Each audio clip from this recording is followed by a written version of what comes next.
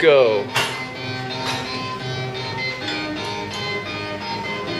Now the synchronized split squat event. Both females well trained in the exercise because their boyfriends are trainers. Oh sorry, boyfriend and husband, my correction. But no matter.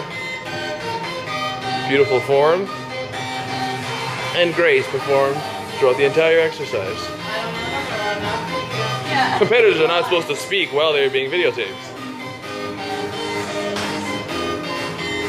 How many will they be able to do without getting tired? Let's see.